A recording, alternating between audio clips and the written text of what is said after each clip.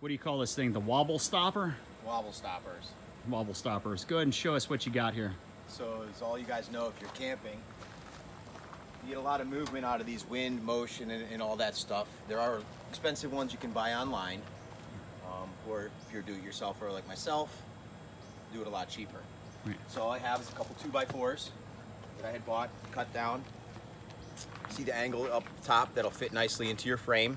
Mm-hmm. Then a 45 down on the bottom, which will go on the ground side. An eye bolt for hooking up what will be a ratchet strap. Okay.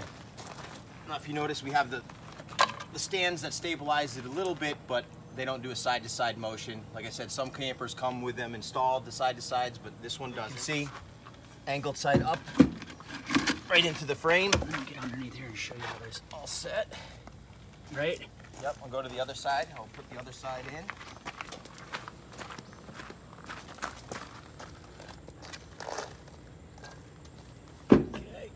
Try to keep those about the same distance from the rear. Okay. Almost any ratchet strap will do, actually. There. Okay. All right, so now it's ratchet strap. Throw across to the other side. If you have someone camp with you, it's great. You can still do it by yourself, though. Okay.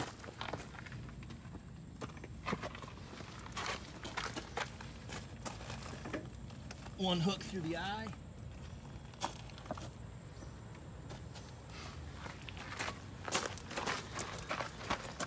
The other hook, the other eye. Okay. Pull it taut.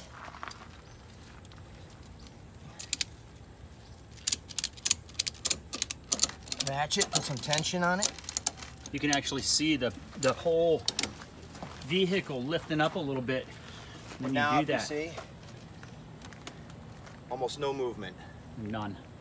So for again, all you do-it-yourselfers, pretty easy. You have what three sets? You've got two sets this size, right? And then the- you have the a shorter set. depending on what size campsite you're on and, and In being ground level with level. those. Yes, so Yep. you can actually make some longer ones, shorter ones. You'll you'll see what works for your camper.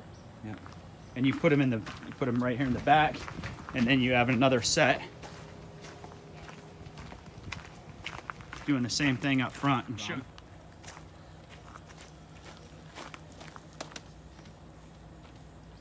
That's great.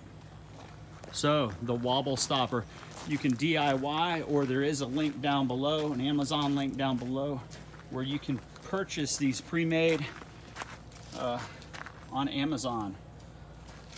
So, from Stonebroke Adventure, till next time. Bloop.